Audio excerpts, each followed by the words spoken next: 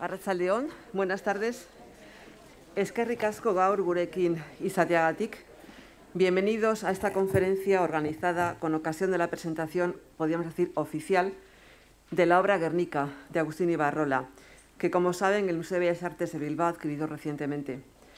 El mural posee la doble condición de ser, por una parte, un homenaje al Guernica pintado por Pablo Picasso en 1937, de donde proceden algunos elementos iconográficos que Ibarrola ha incorporado a su mural, y por otra parte, de ser también contribución del pintor al movimiento ciudadano que, a partir de 1977, en un momento en que, recuperada la democracia, parecía posible que el cuadro de Picasso abandonara el Museo de Arte Moderno de Nueva York con destino a España, movimiento, decía, que comenzó a reivindicar el depósito de la obra emblemática de Picasso en alguna institución museística del País Vasco. Este movimiento, como saben, se agrupó bajo el lema Guernica, Guernicara y fueron numerosas las obras colectivas, actividades y proyectos que hasta su instalación en el, en eh, Caso del Buen Retiro en octubre del año 81 solicitaron su entrega. En ese contexto, incluso el Museo de Bellas Artes de Bilbao se postuló también como posible sede temporal de acogida del cuadro. La pequeña exposición documental instalada en estos momentos en la sala del museo donde se expone actualmente el Guernica de Ibarrola trata de presentar al público que acuda a contemplar la obra una primera panorámica de todo este trasfondo de creación del mural. Una impactante obra de 10 metros de largo realizada por Ibarrola en 1977. Hoy, abundando en su contexto, tenemos con nosotros a Genoveva Tussell, para revisar uno de los acontecimientos fundamentales ligados al origen y a la historia del cuadro de Ibarrola, la llegada del Guernica de Picasso a España en 1981. Un año antes, Ibarrola había expuesto el suyo en público por última vez. La obra, como saben, no volvería a verse nunca más hasta este mismo año. Genoveva Tussell, a quien queremos agradecer su presencia hoy en el auditorio del museo, es historiadora del arte y estudió en la Universidad Complutense de Madrid. En 2003 se recibió como doctor en la UNED con una tesis doctoral que estudiaba la internacionalización del arte abstracto español durante el franquismo, un periodo histórico al que ha dedicado desde entonces numerosos textos e investigaciones. A la obra de Pablo Picasso, a su obra más política y comprometida, ha dedicado también varios estudios, entre ellos uno fundamental centrado en el retorno del Guernica a España, titulado El Guernica recobrado, que fue publicado en 2017 y en el que tuvo ocasión de recuperar, revisar y analizar en un riguroso trabajo de investigación importante documentación y material de archivo hasta entonces inédito. Su conferencia de hoy en el museo lleva por título La llegada del Guernica de Picasso a España y la polémica en torno a su emplazamiento y tiene lugar un 25 de octubre en el que se cumplen 140 años del nacimiento de Picasso. Otro 25 de octubre, esta vez del año 1981, se abrían oficialmente las puertas del Casón de Retiro de Madrid para que el público pudiera contemplar por primera vez el Guernica de Picasso. Les dejo ya con nuestra conferenciante, aunque si ella me lo permite, me gustaría terminar apuntando otro dato, otro detalle reseñable de su biografía, aunque esta vez personal.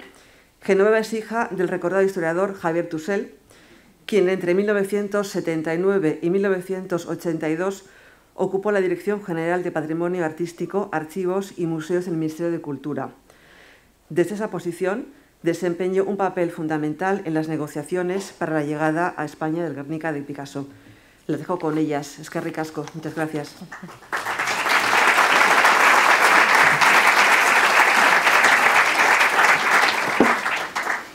Buenas tardes. Eh, muchas gracias, Miriam, por tu presentación, que, bueno, tan, tan elogiosa, no sé si la, si la merezco.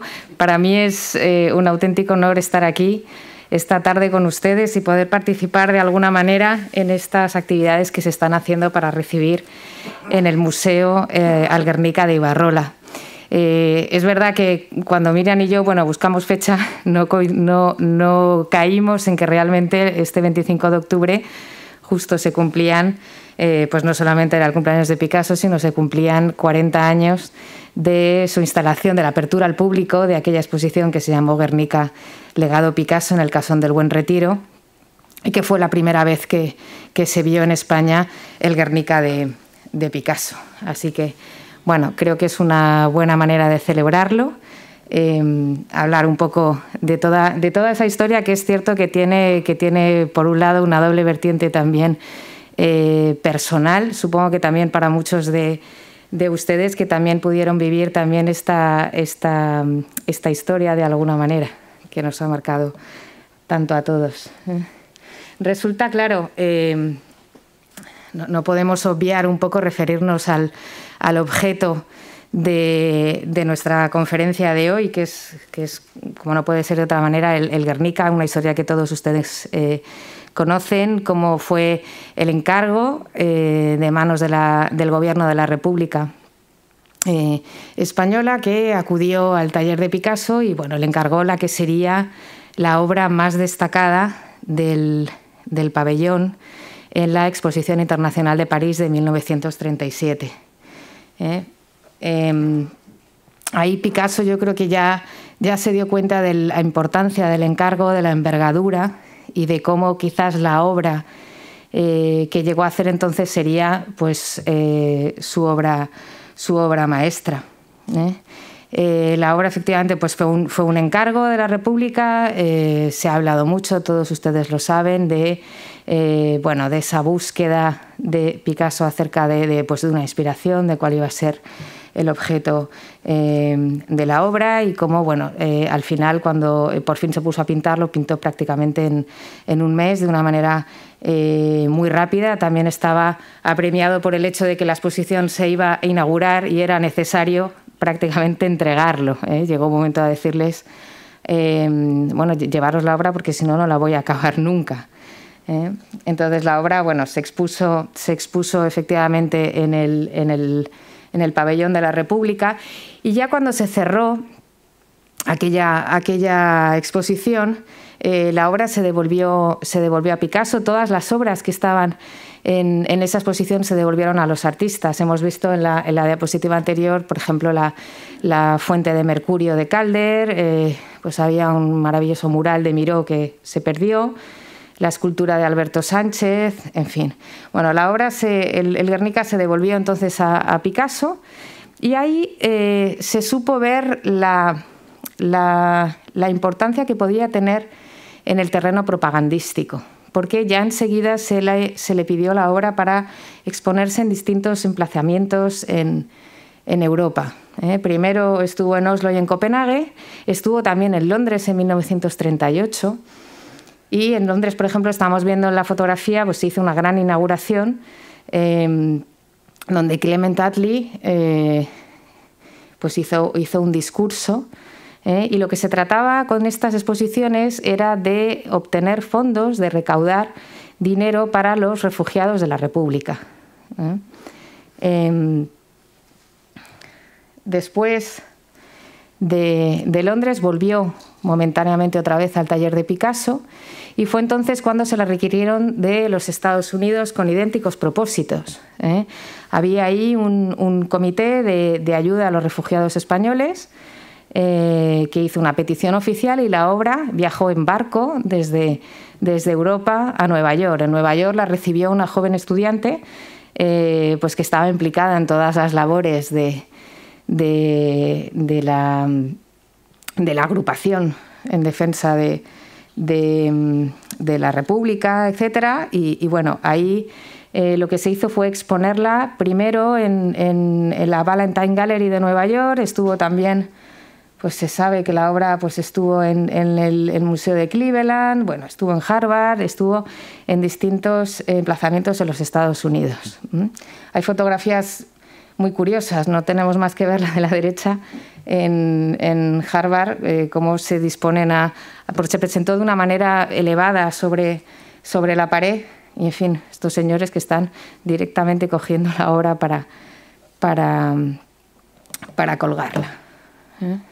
Y lo curioso es que em, estando ya en Estados Unidos, pues el objetivo era eh, ser la gran estrella de la primera exposición importantísima de, Picasso en Nueva York, la gran eh, muestra la, gran monográfica que estaba preparando Alfred Barr, el director del museo, estaba preparando, se llamaba 40 eh, años de Picasso, 40 años de su arte, que tuvo lugar en 1939. Y la idea era que la obra luego se devolvería al artista. Pero fue entonces cuando eh, una serie de acontecimientos acabaron desencadenando pues, la Segunda Guerra Mundial y lo que se consideró mucho más oportuno era que la obra permaneciera allí en, Nueva York, en el, Museo de Arte Moderno, a una manera de eh, depósito temporal, eh, sin, establecer en ese momento ningún tipo de, condiciones aclaratorias. Se pensaba que, bueno, que en, un, futuro próximo podría regresar eh, a manos del artista. Y, claro, con el tiempo se fue convirtiendo un poco en la gran, la gran estrella del, museo, uno de los principales focos de atracción. Eh, ahí además existía la oportunidad de verla al lado de las señoritas de Aviñón, que la vemos en la parte, en la parte izquierda de, la imagen. Y, bueno, ahí el propio Alfred Barr pues, hizo una serie de estudios, eh, pues llamó a distintos estudiosos porque quería encontrarle el significado al Guernica, hizo una serie pues, de congresos, de conferencias eh, con grandes expertos y, en fin, trabajó, trabajó mucho en torno, en torno a la obra.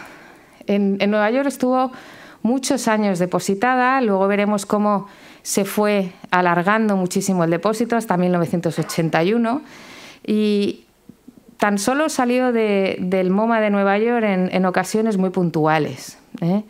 Pues, por ejemplo, eh, estuvo en 1953 en la Bienal de Sao Paulo, que, bueno, fue, fue realmente pues, un espaldarazo a una Bienal, a un certamen artístico que en ese momento pues, estaba recién creado, era la segunda edición, y bueno, fue muy importante poder exhibir ahí el, Guernica. En los años 50 también, por ejemplo, estuvo en distintas capitales europeas. Aquí la vemos en Múnich, estuvo en el año 53 también en Milán. Bueno, fueron eh, exposiciones muy, muy puntuales, pero ya después de esta gira del año 55-56 ya se entendió que la obra había viajado lo suficiente. ¿eh? Siempre había viajado enrollada, eh, pues causando una serie de eh, desperfectos, hay que tener en cuenta las dimensiones. Eh, y ahí ya el propio artista estableció que lo mejor era que la obra no volviera otra vez a moverse y que debía de permanecer en, Nueva York hasta que, hasta que pudiera regresar a España.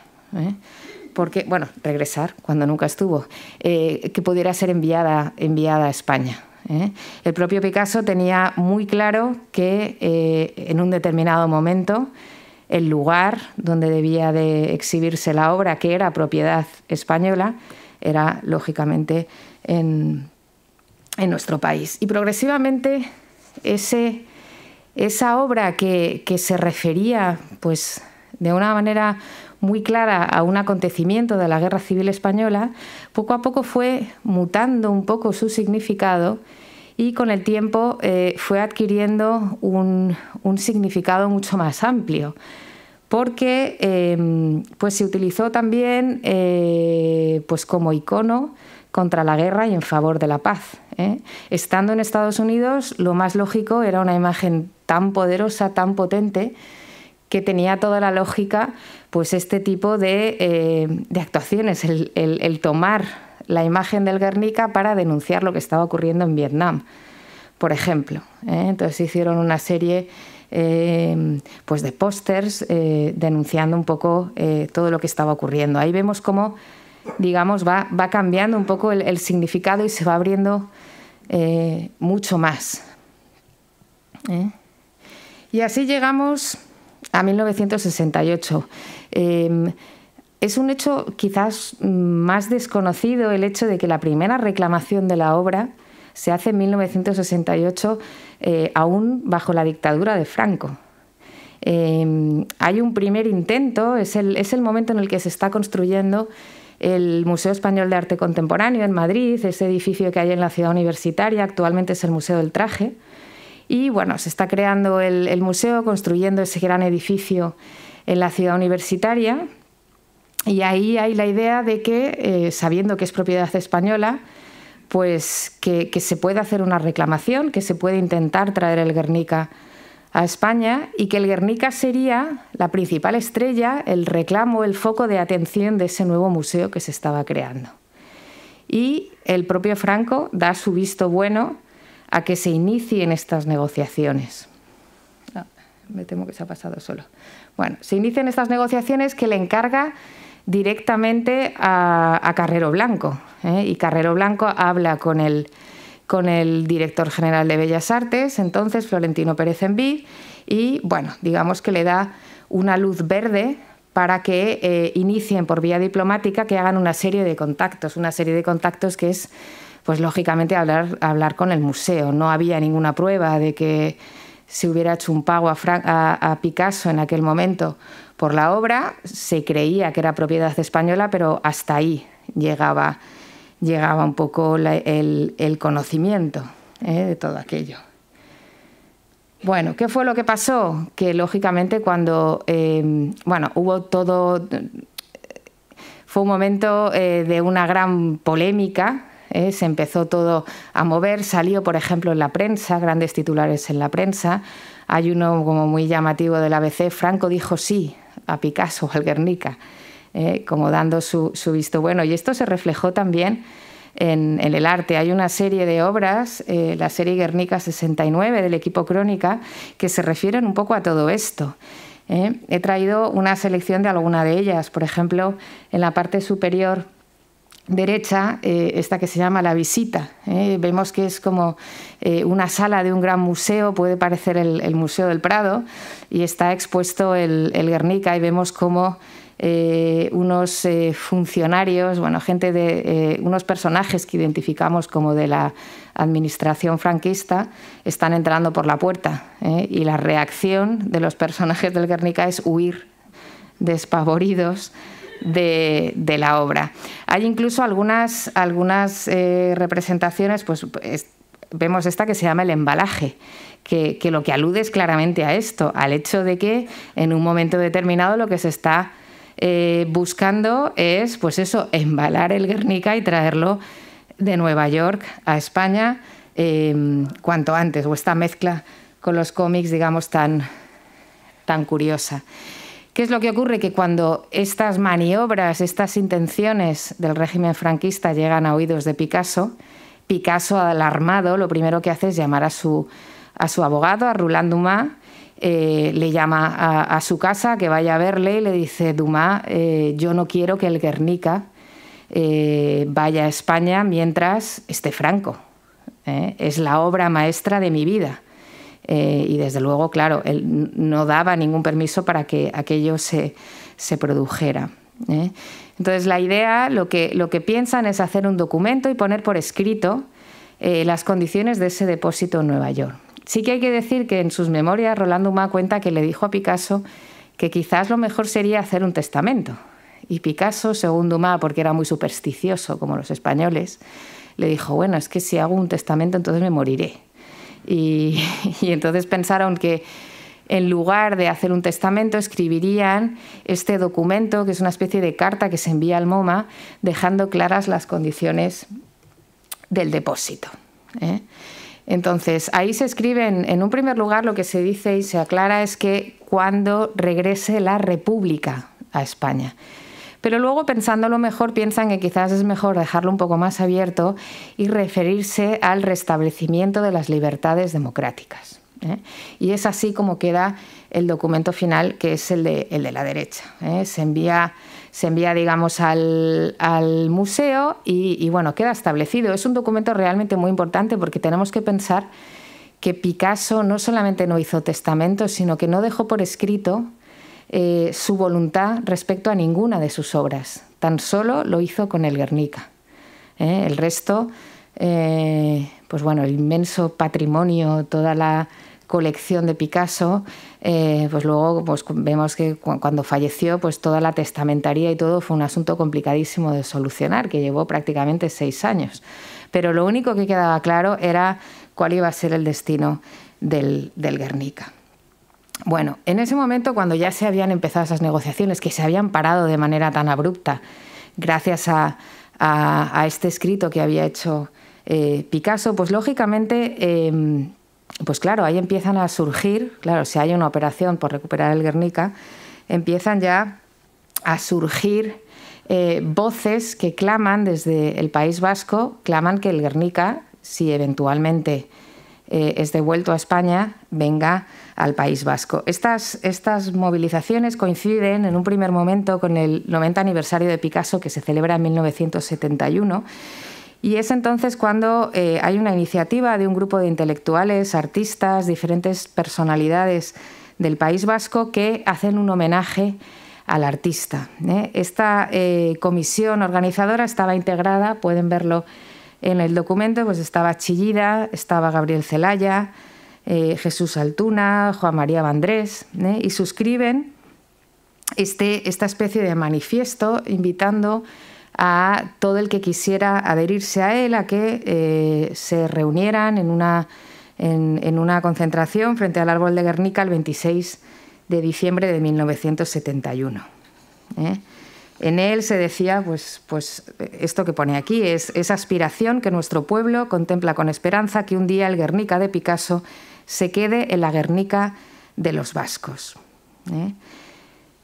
Solamente se había llevado a cabo un primer intento por recuperar la obra, pero ya se estaba abriendo ese debate sobre el posible emplazamiento de la obra si eventualmente regresaba a España, como lo haría años más tarde. Sí que hay que decir que en 1971, también haciendo coincidir con el, con el 90 cumpleaños de Picasso, se organizaron una serie de actos, sí que hubo homenajes que no se realizaron, no fueron eh, propuestos u organizados por el gobierno español, sino por una serie de eh, entidades, galerías, librerías, etc.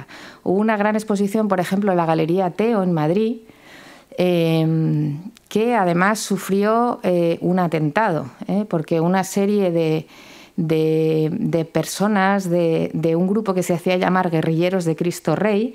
Entraron en la, galería por la noche eh, y entonces pues rompieron, se exponía, una, se exponía una parte de grabados de la suite Volar de Picasso.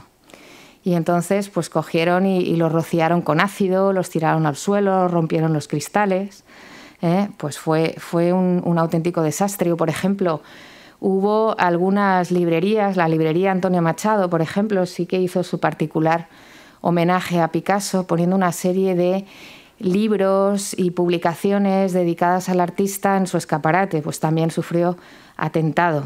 ¿eh? O sea, les, les eh, pues rompieron todos los cristales a pedradas, etcétera, etcétera. Entonces era ya un momento en el que, en el que bueno, había evidentemente Picasso era una figura polémica. Eh, había habido una serie de desencuentros con, la administración franquista, que había intentado, por un lado, pues digamos, acercarle a España, hacer alguna exposición, pero que al mismo tiempo recelaba, recelaba mucho del que entonces era su artista más conocido, Picasso, que en el año 40 se había afiliado al Partido Comunista francés, ¿eh? al que había, en el momento de su afiliación, dijo, bueno, por fin he regresado a mi patria. ¿eh? El Partido Comunista, mientras yo no pueda volver a España, eh, me recibe como mi nueva patria. Entonces, em, bueno, de ahí que la polémica que había en torno a la, a la, figura de, Picasso. Todo el asunto del, del Guernica permaneció un poco dormido hasta la, muerte de, Franco. Lamentablemente, Franco falleció unos años después de Picasso. Picasso murió en 1973, Picasso en 1975. Si no, quizás podíamos haber visto una eventual vuelta del artista a España, pero Picasso tenía muy claro que mientras eh, viviera Franco él no, no, no volvería a su país. Fue entonces cuando ya muere Franco, cuando todo se se vuelve a reactivar ¿eh? esa búsqueda, esa persecución eh, por conseguir la, vuelta del, Guernica. Y se reactivó un poco de manos, eh, al principio, de manos de, personas e intelectuales, no tanto de, lo que era la administración o del gobierno. Por un lado, el historiador de arte norteamericano Herschel Sheep, que escribió una carta en el New York Times diciendo que quizás ya con la muerte de Franco y la instauración de una democracia era el momento de pensar en devolver el Guernica. Y luego también hubo otro personaje importante que fue José Mario Armero. José Mario Armero eh, era el director de la agencia Europa Press, era, era abogado y él a título personal empezó también a ponerse en contacto con el, con el MoMA de Nueva York, por un lado, se puso en contacto también eh, con Roland Dumas, el abogado, y fue un poco eh, haciendo una serie de consultas. Si bien es verdad que de todas estas consultas, de todos los movimientos que hacía, eh, mantenía informado a Pío Cabanillas, que entonces era el, ministro de, Cultura. Entonces poco a poco se fue retomando un poco el, el tema. En este momento, claro, en este, en este ambiente es cuando debemos de situar un poco también la figura de, Agustín Ibarrola, ¿eh? uno de los más destacados artistas eh, vascos. Em, un artista eh, nacido también, o sea, nacido en el seno de una familia obrera, que formó parte del grupo Estampa Popular en Vizcaya, eh, bueno, él había viajado, por ejemplo, a París en 1956, era miembro del Partido eh, Comunista. De hecho, precisamente por eso estuvo encarcelado en dos ocasiones. ¿eh?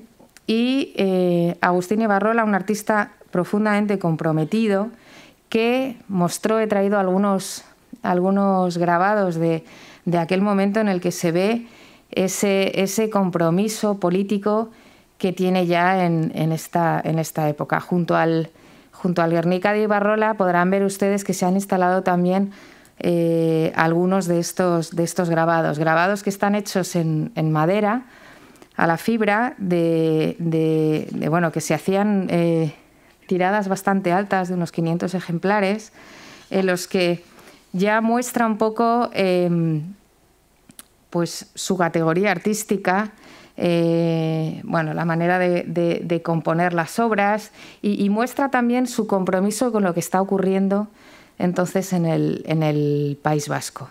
¿eh? Creo que queda eh, pues muy claro el tipo de escenas que representa. Muestra también cómo domina el geometrismo. No hay que olvidar además que él formó parte del equipo 57 eh, construye las figuras también a base de eh, perfiles. ¿eh? Y lo que es extraordinariamente rico es ver el, provecho que le saca, todo el potencial que saca de la madera al grabar estas imágenes en, madera. He traído algunas y sí que vemos cómo en, algunas de estas obras ya comienza a aparecer el, el tema del Guernica. También hay uno de los grabados que está justo en la sala anterior al, aquí en el museo anterior al, Guernica, que es también de la serie Paisajes de Euskadi y que también eh, pues se ve eh, algunos personajes tomados de, del Guernica. ¿eh? Entonces, bueno, ya, ya él se refiere a este tipo de obras pues diciendo cómo eh, pues lo que hace es plasmar el, paisaje de la sociedad vasca, donde abunda la represión, las masas oprimidas y la violencia del régimen para con los, con los ciudadanos. es la situación que se está viviendo entonces en el País Vasco y con la que está pues, pues muy comprometido. Representa también distintos hechos históricos. Es una figura desde luego determinante para entender no solamente eh, el arte que se está haciendo en el País Vasco, sino en la España del momento.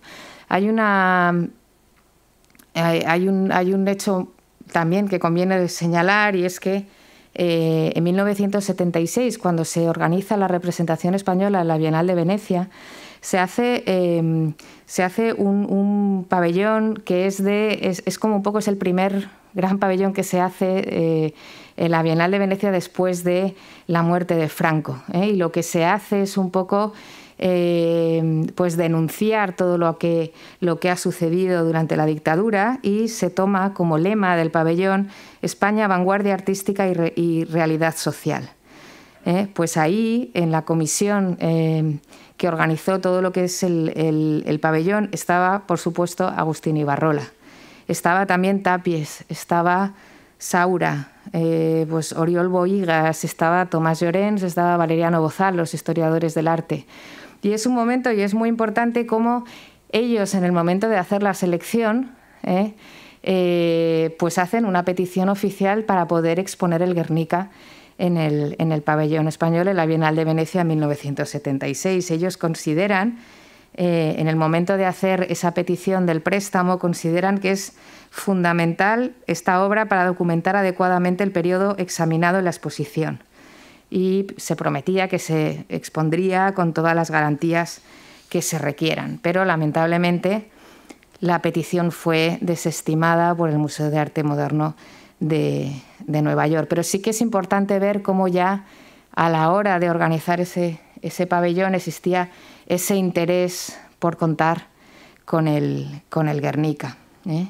En ese momento es cuando eh, pues Ibarrola hace esta obra que es un poco la que nos ha traído hoy aquí, eh, esta gran obra, este gran homenaje a lo que es el Guernica, que está formada, si han tenido ustedes ocasión de verla antes de, antes de, la, conferencia, es una obra de gran formato, es incluso, es incluso mayor que, que, el Guernica, que ya es muy espectacular, pues son 10 lienzos, al final eh, eh, son 10 metros por 2 de alto ¿eh? y es un homenaje al Guernica de Picasso. Es un homenaje, pero es un homenaje también muy, muy particular, porque toma algunos elementos, algunos fragmentos con los que él expresa lo que denomina los nuevos Guernicas de Euskadi.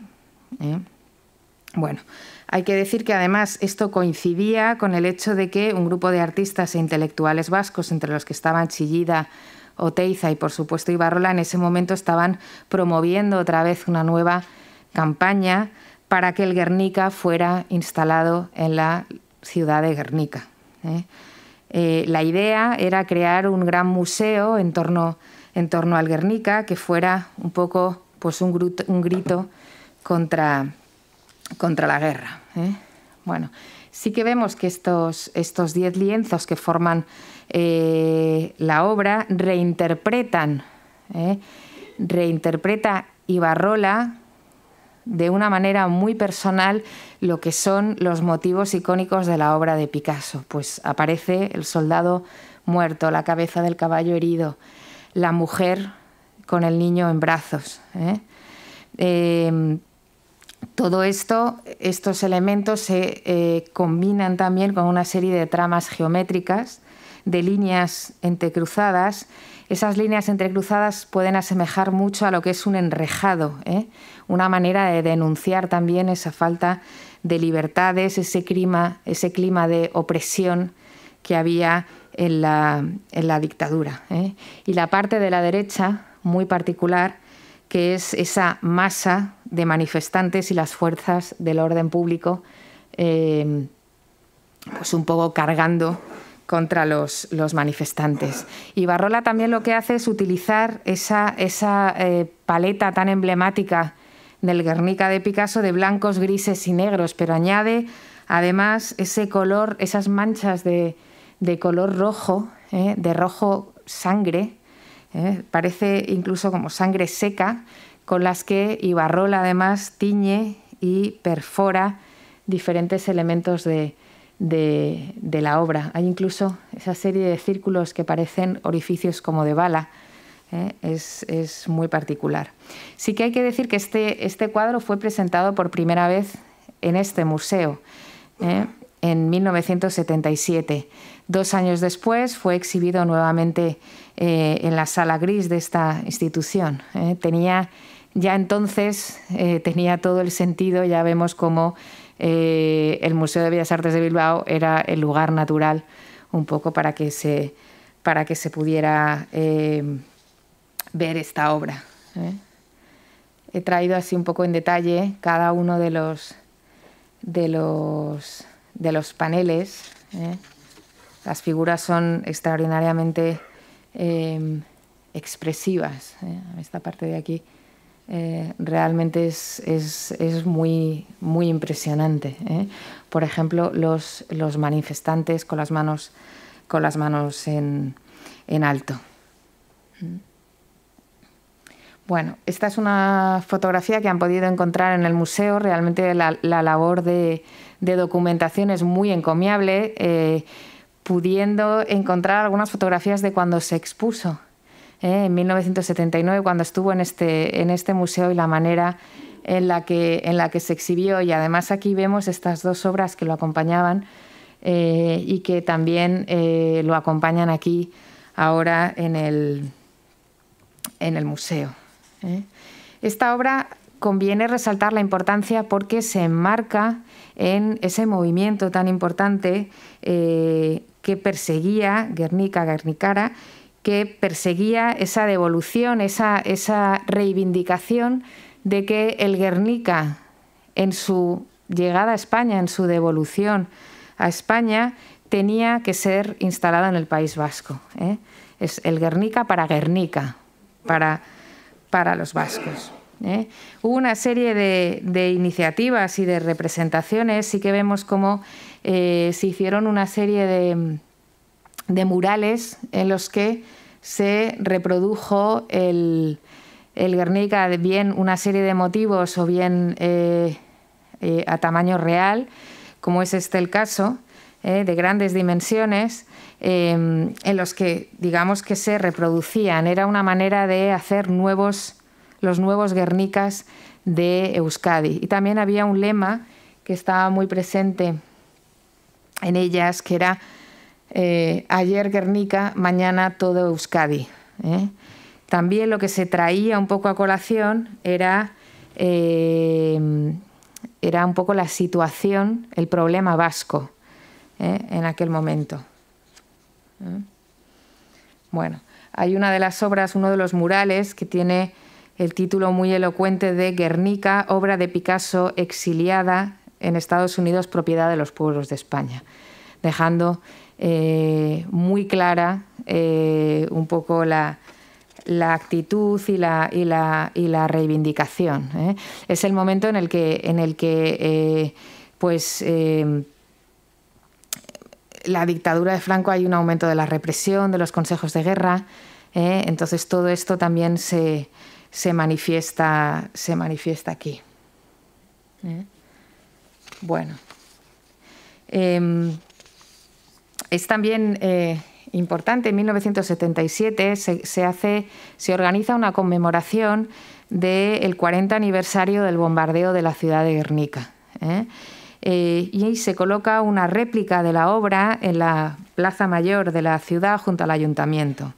Era la primera ocasión en la que el pueblo de Guernica eh, podía manifestar abiertamente su sufrimiento solicitando, eh, ya lo vemos todos los manifestantes solicitando que el cuadro se instalara en la localidad. Los herederos de Picasso enviaron un telegrama expresando sus condolencias y su solidaridad con la, con la ciudad de Guernica, mientras que Jacqueline, la viuda de Picasso, envió esta carta eh, en la que mostraba su solidaridad, pero indicaba eh, que había sido voluntad de su marido que el cuadro regresara al Museo del Prado de Madrid. ¿eh? Vemos aquí que él dice, no piensen de ninguna manera que ello pueda disminuir el símbolo del dolor de su pueblo, así como el de todos los pueblos que han sufrido. Eh, Maître Dumas, o sea, refiriéndose a Roland Dumas, es el depositario de las instrucciones de Pablo Picasso, terminaba, ¿eh? porque en ese famoso documento que se había enviado al, al MoMA, se establecía efectivamente que la obra sería devuelta a España cuando hubiera una democracia, pero eh, la persona encargada de eh, comprobar si efectivamente había una democracia estable en España era Roland Dumas, el abogado. No eligió ni Picasso no, encomendó de esto a su, a su viuda ni a ninguno de sus hijos, sino que deliberadamente señaló a su abogado. Y veremos cómo luego el abogado tuvo un papel muy importante en las negociaciones, ¿eh? que eran a distintas bandas y entre ellos había que negociar también con, con el abogado. Ya entonces, en 1977, en todo, este escenario, ya el Museo de Bellas Artes de Bilbao solicita también la obra. ¿eh? También lo solicita, por ejemplo, el Banco Atlántico de, Barcelona, que estaba organizando una exposición para conmemorar el 75 aniversario de la entidad. Bueno, llegan peticiones, eh, unas con más sentido que otras, eh, desde muchos sitios un poco para, exponer el Guernica.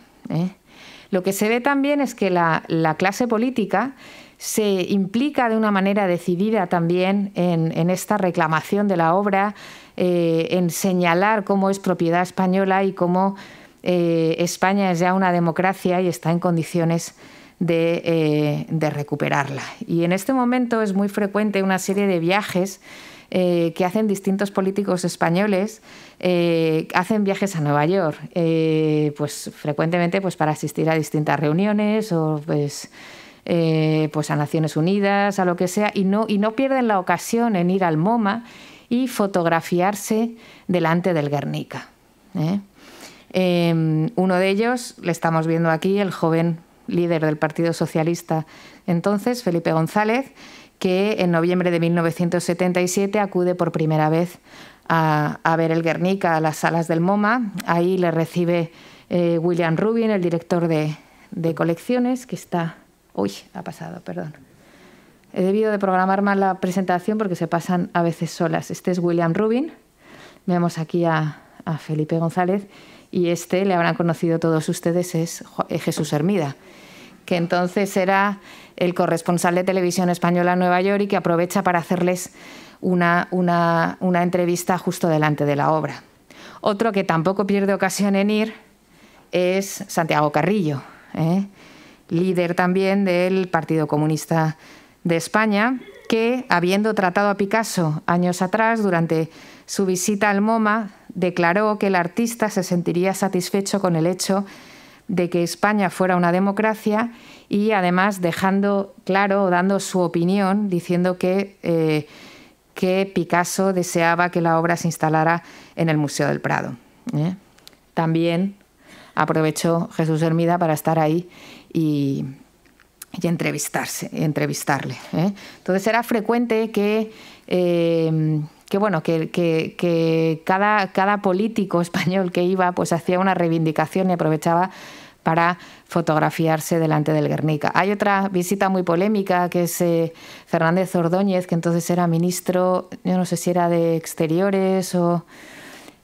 acudió también ahí, entonces quiso hacer una negociación un poco por su cuenta, bueno, ¿qué tal? ¿Qué querrían ustedes a, cambio y tal? Y, se dice como que, no sé si en tono de broma, espero que sí, eh, llegó a ofrecer dos Velázquez a cambio de, del Guernica. espero sinceramente que fuera, que fuera un poco en tono de broma. Eh, también incluso se pensó que, que, el propio Adolfo Suárez visitara el Guernica y se hiciera una foto, pero se pensó que quizás eso tenía un impacto mucho mayor, que quizás era mejor Em, ser un poco cauteloso. ¿eh? Ya digo que era, era importante ver cómo el Guernica era un poco un símbolo. ¿eh? O sea, muchos intelectuales, escritores, artistas del momento, em, era una manera de significarse políticamente el hecho de tener una reproducción del Guernica en casa, ¿eh? un póster, pequeño cuadro de la manera que fuera. ¿eh? Era, era, la manera de hacer ver una oposición al régimen, ¿eh? un, determinado sentimiento. He traído aquí dos fotografías que me parecen muy curiosas. La de la izquierda es una reunión de intelectuales en la casa del crítico de arte Rafael Santos Torroella. ¿eh? entonces encima del sofá lo que tienen es el Guernica. Se reúnen en torno al Guernica. Y muy bonita me parece la imagen de, abajo y, más aún cuando es obra de Pilar Emerich que, acaba de recibir el Premio Nacional de Fotografía. ¿eh? Entonces es la escritora catalana Montserrat Roig y que está embarazada, está en esta mecedora sentada plácidamente, ¿eh? delante de una reproducción de, del Guernica. Bueno, pues volviendo otra vez a, Ibarrola, claro, las, declaraciones de Santiago Carrillo diciendo que España debía de recibir el Guernica, el que el Guernica debía de estar en el Museo del Prado, tuvieron una contestación por parte de Ibarrola, eh, que hizo una serie de declaraciones eh, y que dijo, y lo voy a leer textualmente porque creo que es importante, los vascos pedimos a todos los pueblos del Estado español que contribuyan a que Euskadi pueda acoger junto al árbol de Guernica en el pueblo sagrado de los vascos al Guernica de Picasso. Euskadi quiere que el Guernica de Picasso vuelva a Guernica, vuelva al lugar donde se produjeron los terribles acontecimientos que motivaron la creación del cuadro más famoso del mundo. Los vascos no deseamos apoderarnos de este patrimonio de los pueblos de España. Creemos que el Guernica, situado en Guernica, en Euskadi, fortalecerá la mejor relación y entendimiento entre las gentes de nuestra plurinacional España democrática. Bueno, era un momento que además toda esta polémica coincidió con que el historiador del arte Gersel Sip, al que hemos mencionado antes, que estaba trabajando también por porque el Guernica volviera a España, pues él hizo una, visita a España con tal motivo y en unas declaraciones a la prensa dijo que la voluntad de Picasso era que la obra se exhibiera en el Museo del Prado. ¿eh? Aquí cada uno daba declaraciones a la prensa en un sentido eh, u otro. Al mismo tiempo, también, eh, una de las posibilidades que se abría también era el Museo Picasso de Barcelona. ¿Eh? Hay que pensar que en ese momento el Museo Picasso de Barcelona era el único museo monográfico dedicado al artista en el mundo. Se había inaugurado en 1963, todavía no existía el Museo Picasso de París y con toda lógica también, eh, también lo reclamó. En este sentido, Herschel Schiff dijo, Barcelona tiene el único museo completamente dedicado a Picasso que hay en el mundo. Esta circunstancia lo convierte, junto con el Prado, en la otra opción que puede barajarse para emplazar el Guernica.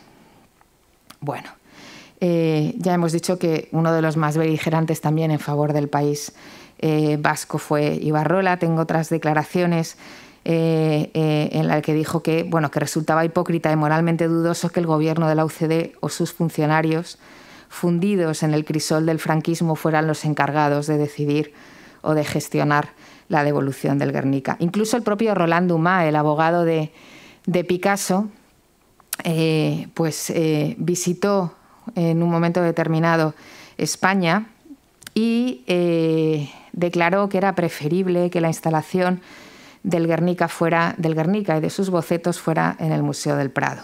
¿eh?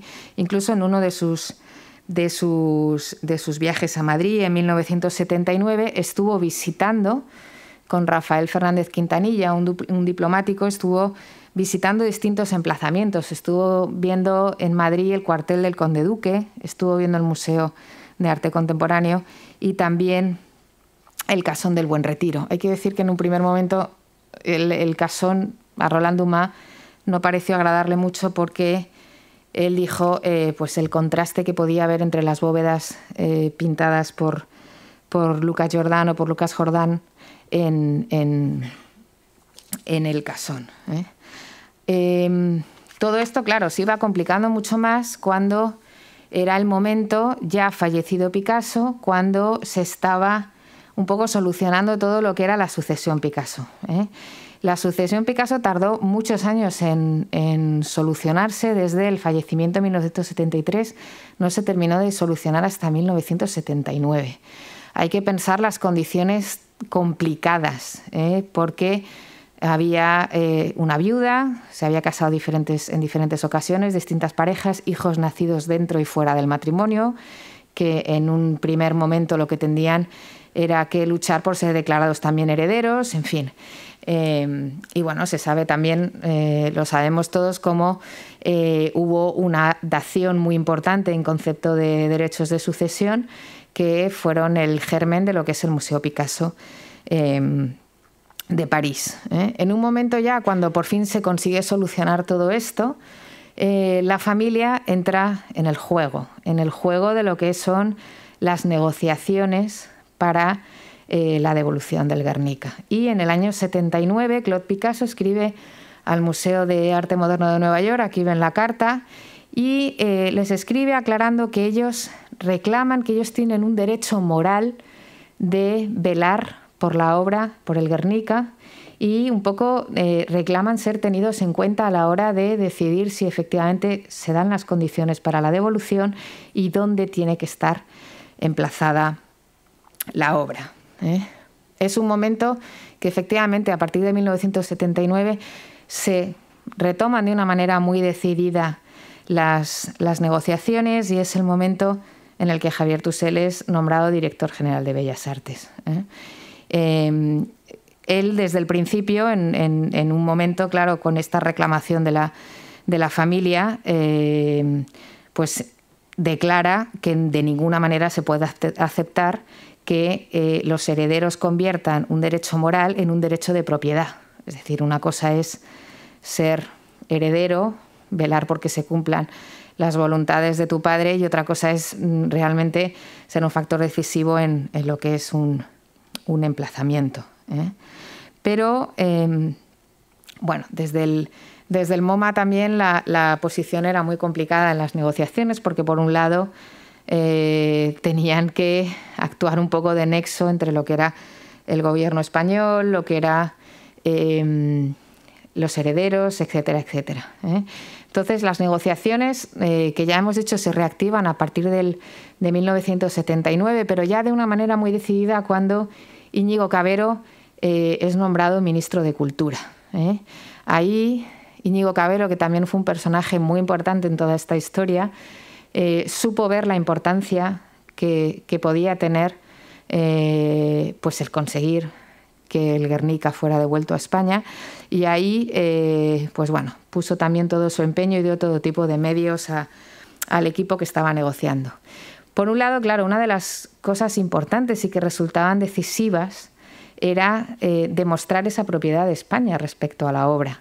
Se sabía que había habido ese encargo por parte de la República, que se había pagado a Picasso por por hacer el mural, pero no se sabía, no se tenía ni un recibo de la cantidad recibida, eh, ni un documento que atestiguara este, este pago. ¿eh? En esto fue muy importante este personaje del que hemos hablado antes, Rafael Fernández Quintanilla, que era un diplomático que había estado mucho tiempo en la Embajada Española en París y que, eh, bueno, contactó con el hijo de Luis Araquistain, que había sido embajador en, París. Y parece ser que el hijo de, de Araquistain conservaba todo el archivo de su padre y una serie de documentación eh, en la que quedaba registrada, eh, quedaba registrado todo ese, todo ese encargo de, la obra. Bueno, hubo una serie de negociaciones que realmente duraron varios años. Entre medias, además, el hijo de Araquistain eh, falleció. Al final se terminó de adquirir el archivo a la viuda del hijo de Araquistain, ¿eh? porque en un primer momento querían vender el archivo entero con la biblioteca, etcétera, etcétera, y al final lo único que se hizo fue eh, adquirir este legajo en los que había documentos como este, ¿eh? este que es una relación de gastos, de gastos de la embajada española en París, eh, de gastos relacionados con la representación en la, Exposición Internacional de París del 37. Y si se fijan ustedes, bueno, lo he traído así un poco en grande, la relación de gastos, hay un epígrafe que dice Pablo Picasso, gastos Guernica, 150.000 francos, que es lo que se, lo que se pagó. Se, ha sabido luego que otra cosa que se pagó eh, supongo que si han estado ustedes en el, en el Museo Reina Sofía habrán visto que el, Guernica está acompañado de esa serie de fotografías que hace Doramar de los diferentes estados, estadios de, realización de la obra. Pues esas fotografías también se encargaron a la propia Doramar y de hecho se pagaron en aquel momento, en el año 37. Es curioso ver cómo luego el Estado español, en una subasta, volvió a adquirir esas fotografías, siendo legítimo propietario pero, pero bueno, en fin. Eh, em, en ese momento, claro, siguen avanzando las negociaciones y, lógicamente, desde aquí, desde el País Vasco, se sigue reclamando de una manera muy decidida que el Guernica tiene que estar en, el País Vasco. Y he traído este, este, este artículo del diario El País porque, claro, ¿con qué se ilustra el, artículo y esa reclamación con el Guernica de Ibarrola. ¿eh? en, el país en el 4 de diciembre de 1979. La carta de la derecha es muy curiosa porque es una carta que se escribe a Richard Oldenburg, que es el, pues ya no sé si es el presidente, el director del MoMA, ¿eh? el manda más del MoMA. Y, entonces se habla de, esa corriente que hay en el País Vasco demandando el, el Guernica. Y entonces se dice que bueno, hay una propuesta eh, del abogado de Picasso diciendo que quizás a lo mejor lo que se puede hacer es eh, intentar una, una, solución y es que eh, pues quizás que se exhiba los estudios, los preparatorios y, todo el conjunto de postscriptos, que son las obras que acompañan al Guernica, pues que se expongan en el País Vasco antes de hacerlo en, Madrid. Entonces hay, incluso una, una propuesta en un momento determinado. Hay también cartas, por ejemplo, y hay otra, otra iniciativa por parte de la familia Rockefeller, eh, que bueno, que están implicados, son propietarios también del Museo de Arte Moderno de Nueva York. Hay un momento, ellos, no sé si saben ustedes, que encargaron, en un, encargaron una copia, un tapiz, que era una copia exacta de, del Guernica. Pues hay un momento que incluso la familia Rockefeller se propone que quizás se puede enviar al País Vasco el, tapiz, ¿eh? el tapiz del Guernica. Curiosamente luego, eh, Avatares de la Vida, el tapiz acabaría en Naciones Unidas, ¿eh? en Nueva York, y es el tapiz que se cubrió cuando Colin Powell hizo esa famosa rueda de prensa declarando la, la guerra de Irak. ¿Qué sentido tenía declarar una guerra delante, teniendo el Guernica detrás? Pues lógicamente lo taparon, lo taparon con una cortina. Entonces, bueno, se se trató de buscar diferentes, diferentes soluciones. ¿eh? Y poco a poco, pues las negociaciones fueron fructificando. Bien es verdad que, claro, cuando se encontrado toda esa documentación que probaba la propiedad del Guernica, todo se, eh, se adelantó mucho, porque hubo un momento que el, gobierno español dijo que, bueno, que, no se iba a negociar de una manera indefinida, que si era necesario se acudiría a los tribunales, porque teniendo una, prueba fehaciente de la propiedad, pues era, era algo fácil, fácil de ganar. ¿eh? Ya en el año 80 parecía bastante seguro que el Guernica se iba a devolver, se había dicho que se estaba preparando una gran retrospectiva de, Picasso en, el Museo de Arte Moderno de Nueva York y se dijo que, bueno, que una vez se clausurara esa, esa gran exposición, pues ya se podría, se podría defender, se podría devolver la obra. ¿eh? He traído también aquí una, carta de William Rubin, que antes ha salido un poco también a, colación, en la que, bueno, habla efectivamente de esa, de esa voluntad de Picasso de dónde debía de ser expuesta la obra. O sea, realmente es cierto que no hay nada escrito, ¿eh? igual que tenemos ese documento hablando de las condiciones del depósito en Nueva York, sí que no hay ningún documento escrito de puño y letra del propio Picasso acerca de dónde debía de ser exhibida la obra. ¿eh? Tenemos, eh, pues por un lado, que se lo había manifestado a su viuda, Jacqueline, lo hemos visto en la carta de antes y también parece ser que se lo dijo a William Rubin en diferentes ocasiones. Aquí lo vemos como a, Rubin informa a las autoridades españolas y le dice que en distintas ocasiones, cuando tuvo ocasión de hablarlo con el artista, siempre dijo que, bueno, que él quería que estuviera en el Museo del Prado. ¿eh? No sé si lo hemos mencionado antes, pero em, e, es importante también tener en cuenta que en 1936 la República le nombra director del Museo del Prado. ¿eh? Es verdad que es un, bueno, un nombramiento, un cargo del que nunca toma posesión y que nunca ejerce, ¿eh? pero es un cargo que está publicado. Hay un eh, se publica y tal. Y, bueno, del que, del que Picasso estaba muy orgulloso. Muchas veces, pues hablando con gente, le decía, yo, yo soy, soy director del Museo del Prado y tal. Y parecía que se, se sentía muy, muy orgulloso de él. ¿eh? Poco a poco, ya digo, iban, iban avanzando las, las negociaciones. También fueron complicadas con la familia. ¿eh? Esto lo he traído un poco también como, como curiosidad de muchas cartas que hubo porque quizás la que más reticente fue Maya, su hija Maya Picasso, eh, pues porque Maya había, hay que pensar un poco en el, en el, en el carácter. Maya eh, recordaba haber visto cómo su, su, padre pintaba el Guernica. Eh, era una persona que además Maya se había educado en España, eh, tenía unas raíces españoles, españolas muy marcadas y quizás se sentía más responsable de que de, bueno, de, que había que respetar la voluntad de su padre, cumplir una serie de condiciones. Entonces ella recelaba sobre eh, ese proceso de transición que estaba teniendo lugar en España. Entonces, una de las cosas que decía es, bueno, eh, si hay una democracia en España, tiene que haber una ley del divorcio. Eran cosas que, claro, le, llegaban a ella muy de cerca.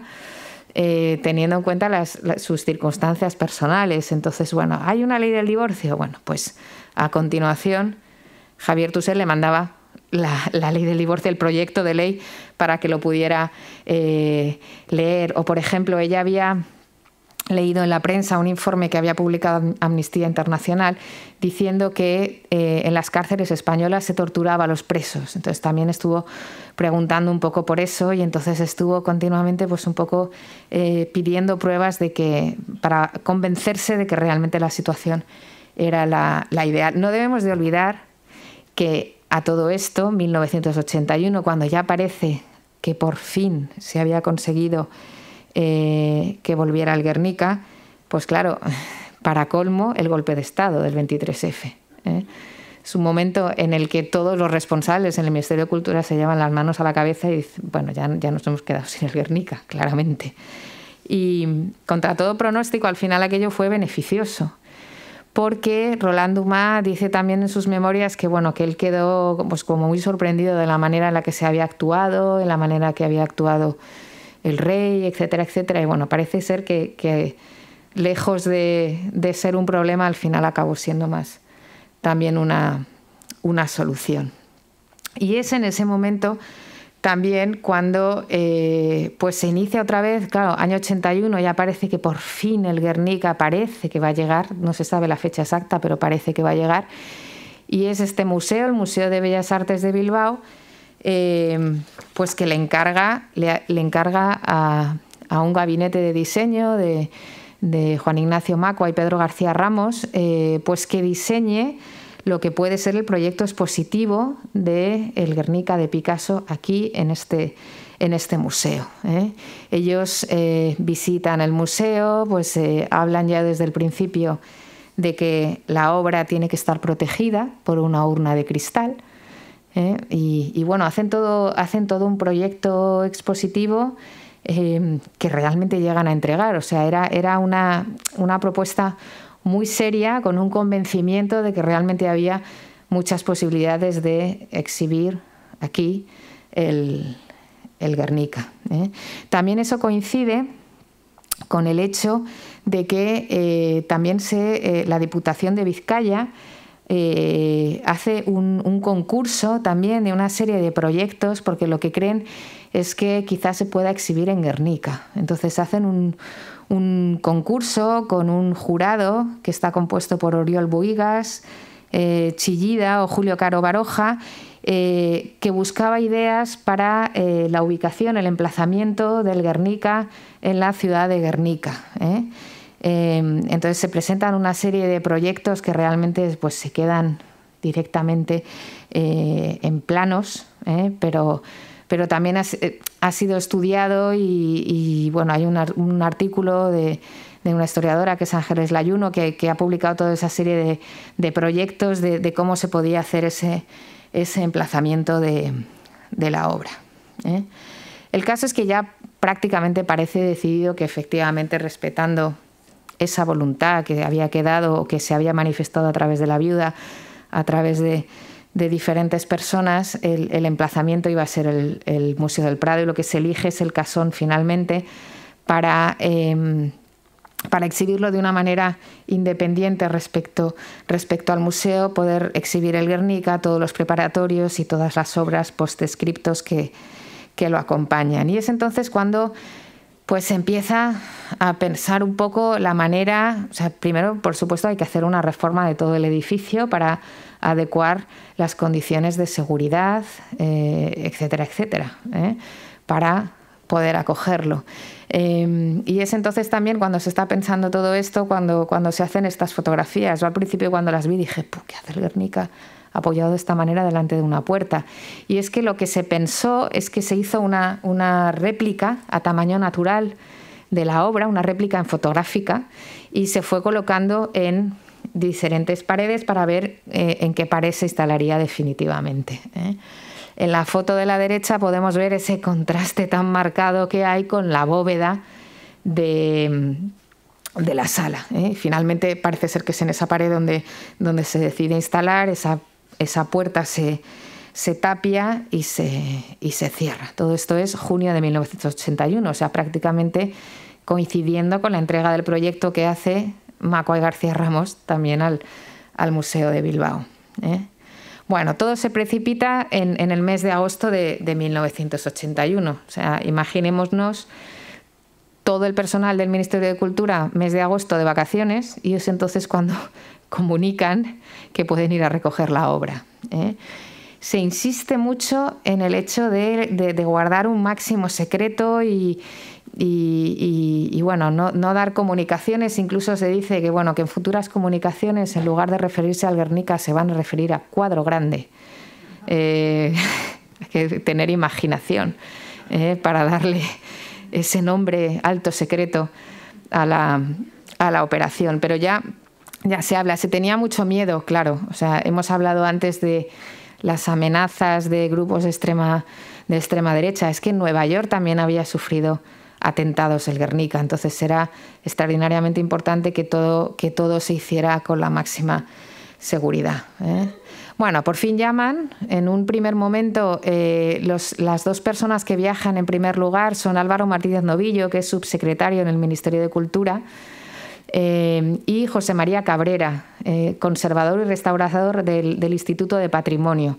Ellos viajan a comienzos del mes de septiembre porque ellos tienen la misión de eh, verificar el estado de conservación de la obra, así como de eh, los dibujos que le acompañan, los, los postescriptos, etcétera, etcétera. Y finalmente es el 8 de septiembre cuando se desmonta la obra. Ya llegan todas las autoridades, el ministro, etcétera, etcétera, los embajadores y se hacen una foto antes de empezar a descolgarlo. Hay que decir que el MoMA abrió en su horario habitual, cerró como siempre a las 8 y fue en el momento en que avisaron a los conservadores que, pues que se tenían que poner a descolgar el, Guernica. No se, no se dijo a, nadie, se cerró en el horario habitual y la diferencia es que cuando volvió a, reabrir ya no estaba el cuadro en el museo. ¿eh? Son muy curiosas y me gusta mucho traer a veces estas, estas fotografías de ver cómo desmontaron la obra. ¿eh? A mí me resulta muy curioso lo de quitarle el bastidor y pasarle la aspiradora. ¿Eh? que es la fotografía que tenemos en el centro, para quitarle, digamos, todo el polvo. ¿eh? Y una vez que, está en el suelo, pues ya procedieron a, enrollarlo. Se hizo, se hizo un tubo de madera a propósito para poderlo enrollar de la mejor manera posible y ese tubo de madera luego iba metido dentro de una gran caja em, perfectamente anclado ¿eh? y entonces la caja junto con todas las cajas que contenían pues, los, bocetos, los posescriptos, todo, se dejaron almacenados durante esa noche. Se terminó más o menos a la una de la madrugada de embalarlo todo. Y a la mañana siguiente es cuando se produce este acto de firma del documento oficial de entrega de la obra al gobierno español. ¿eh? Eh, pues con el embajador, el ministro y tal. Esta señora de blanco, Colunares, es, es una Rockefeller, que ya hemos dicho que forman parte del patronato del, del museo y se firma este, este documento. Por fin sale la gran caja con el Guernica, se carga en un par de camiones y gran momento por fin de la salida y ahí no se sabe por qué, pero se va la luz. ¿eh? Se va la luz y, y, dejan de funcionar todos los semáforos. Imaginemos en Nueva York con ese trazado de calles en, que se cortan perpendicularmente la dificultad de salir del MoMA con dos camiones y llegar, eh, y llegar al, aeropuerto JFK. Y, en el aeropuerto pues, se carga en un avión de línea regular de, Iberia, el Lope de Vega se llamaba, y se carga en la bodega, en un avión que estaba lleno de turistas que volvían de, vacaciones, claro, era a principios de septiembre, pues turistas que volvían. Eh, y, bueno, y todo el personal del Ministerio de Cultura que se ponen de cualquier manera en los sitios que quedan, digamos, más o menos libres. Y sí que hubo, hubo un soplo y, bueno, esa mañana del 10 de septiembre sí que había algún periódico que ya titulaba eh, pues el que, que, llegaba el Guernica. Eh. Incluso uno de ellos decía el regreso del último exiliado, que, era, que el Guernica. Y claro, luego ya pues aterrizaron y eh, el comandante pues, informó a través de megafonía, señores, hemos viajado con el Guernica en su llegada a España. Ahí estaba la Guardia Civil, la policía, todo el mundo en la, en la pista de aterrizaje para sacar, para sacar la caja. ¿eh?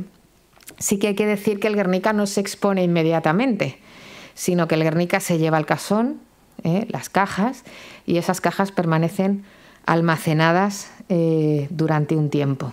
¿eh? Es ahí cuando, es que hasta el último momento, prosigue la, polémica y, bueno, pues aparecen esta serie de titulares. En ella Euskadi insiste, el Guernica a Guernica, o estas declaraciones del alcalde de Guernica, eh, diciendo, declarando que su reacción había sido de dolor, de indignación por el desprecio que esta actitud supone para todo el pueblo vasco. Se han olvidado que el Guernica es, por la carga emocional que lleva el cuadro, más que un asunto de gobierno. Es una cuestión de Estado y, sin embargo, la actitud del Gobierno central ha sido de desprecio total hacia la solicitud de un pueblo, de traerlo a la villa foral. Este ayuntamiento jamás renunciará al Guernica hay unas declaraciones que ahora mismo no recuerdo quién hace, pero eh, que era algo así como em, el Guernica pone los muertos, pero no, como, pero no, pero no tiene la obra o algo así, que también son como muy, muy, muy marcadas.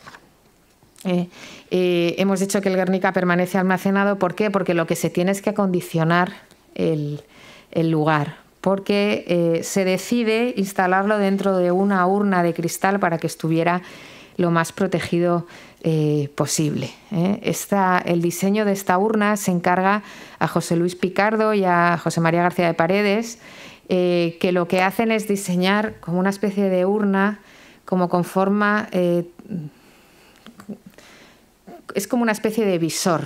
El problema que tienen es que no encuentran un cristal de máxima seguridad que tenga las mismas dimensiones que, eh, el Guernica, ¿eh? porque no se hacían cristales de seguridad antibalas de ese tamaño. Entonces lo que se hace es hacer como una especie de visor eh, que no entorpezca, digamos, la visión, pero que lo pueda proteger con el cristal. Y ya es el 15 de octubre cuando pues se instala el Guernica. Volvemos a ver otra vez cómo lo desenrollan. Igual que veíamos antes las imágenes con la aspiradora, pues lo que resulta curioso es que cuando llega a Madrid lo que hacen al desenrollarlo es darle calor con secadores, ¿eh? porque el Guernica, por un criterio de conservación, cuando estaba en el MoMA se le dio una capa de cera. ¿eh? Entonces lo que, lo que se hace es aplicarle calor para que esa cera eh, se ablande y se pueda y se pueda poner perfectamente plano y, ponerle el, bastidor. ¿eh? Hay unas imágenes de televisión española muy emocionantes de cómo se vuelve a instalar y cuando por fin se levanta el Guernica, pues eh, todos comienzan a aplaudir. ¿eh? Bueno, la instalación final es esta, no sé si muchos de ustedes habrán tuvieron la ocasión de verlo así en el, en el casón, era, era, era extraño, emocionante no lo sé, parecía que iba uno a ver algo con esa protección, pues... Eh, y, en esta foto todavía falta el guardia civil que estaba al lado con la escopeta, con lo cual que ya todavía te ponía los pelos más de punta cuando ibas, cuando ibas a, a verlo. ¿eh?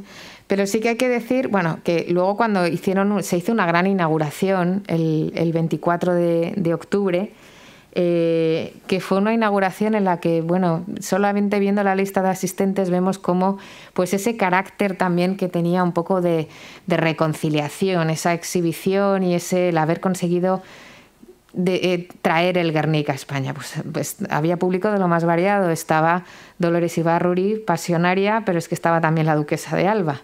Eh, entonces, em, bueno, pues fue como una, una, gran fiesta. En la foto de la izquierda vemos a muchos de los, de los implicados, al ministro, etcétera, etcétera. ¿eh? Pero sí que hay que decir que no, fue, no, no ha sido el último emplazamiento de, de, del Guernica. Ahora mismo lo podemos ver en, en el Museo Reina Sofía, em, a donde se trasladó en 1992. También hubo em, pues bueno, hubo una decisión, era el momento en el que se estaba creando el Museo eh, Reina Sofía y lógicamente el museo se creó un poco en torno al, Guernica y se eh, pues decidió trasladarlo ahí. ¿eh? No sin antes, por supuesto, antes de trasladarlo al Reina, también hubo nuevas reclamaciones por parte del País Vasco. En, esta ocasión coincidiendo con 1987 con otro aniversario del bombardeo y nuevamente volvió a haber una reclamación, se firmó un, documento, eh, un, pues un, manifiesto firmado también por Agustín Ibarrola, eh, Jorge Oteiza, Juan María Vandrés, Rafael Alberti, otra vez eh, se quería un poco traerlo al País Vasco, rescatando un poco la idea de paz, remarcando un poco ese, significado, ¿eh? volviendo a reclamarlo también para, exhibirlo aquí. ¿eh? Finalmente se trasladó al Reina Sofía, hay que decir, la foto de la derecha es muy impresionante porque se sacó la obra eh, sin, enrollarla, precisamente pensando en que sufriera lo menos posible y se sacó así, se aprovechó que era verano, porque era pues eso, 26 de julio, era el año de las Olimpiadas, de la Expo, de todo. Y se aprovechó también un poco para cortar toda la, todo el paseo de la Castellana y llevarlo ahí subido a un camión sin tenerlo que enrollar para intentar evitar eh, que sufriera. Fue también el año en el que se hace una reordenación de las colecciones. Supongo que lo sabrán ustedes. Se publica en el BOE un, un decreto en el que se establece ese reordenamiento de las colecciones en torno al año de nacimiento de Picasso, 1881. Todo lo anterior iría al Museo del Prado y a partir de 1881 al Reina Sofía. ¿eh? y así se hace esa, esa separación. ¿eh?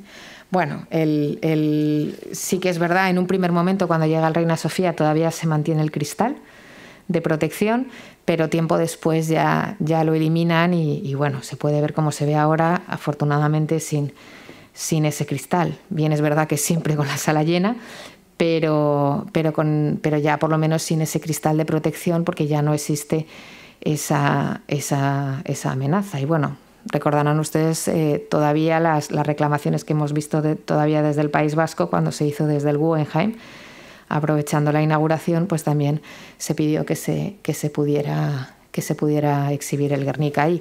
Bueno, creo que es, que es un asunto mm, que entraña cierta polémica, que nunca va a terminar de estar eh, cerrado y siempre estamos viendo como cualquier cosa que afecta al Guernica, su instalación, su eventual restauración, cualquier cosa, cualquier cosa que tenga que ver, pues siempre, siempre hay una polémica ahí detrás, siempre está, está en, la prensa, pero creo que también el haber recuperado el Guernica de Ibarrola, el poderlo exhibir aquí, creo que es eh, realmente muy importante y es una manera un poco también de, ajustar todo esto y, realmente de, de, bueno, de darle la, importancia que merece. Eh, nada más, creo que me he extendido quizás demasiado, así que bueno, si tienen alguna, alguna pregunta estaré encantada de contestarles. Muchas gracias.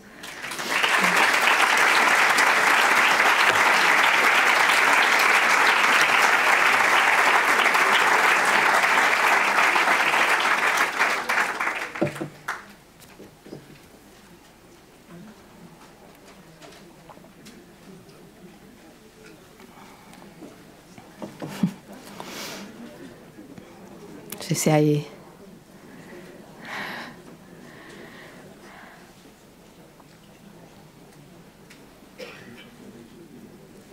Pues nada, creo que entonces si no hay nada, muchas gracias por su atención.